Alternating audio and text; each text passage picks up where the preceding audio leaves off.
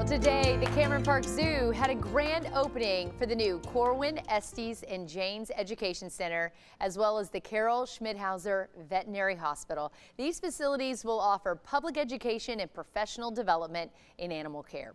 Now, Carol Schmidhauser and her husband Dutch loved giving back. She worked at the zoo for 20 years and continued to donate even after she stopped working there. Though Carol died earlier this year, her son Eric and his wife Lucy said they're proud of Carol's legacy and helping make this happen. They just wish she was here to see it.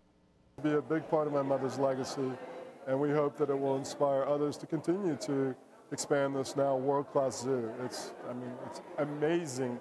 I was, you know, you go inside that veterinary hospital and you're like, this is in Waco, Texas? I mean, this is like world-class. It's really exciting.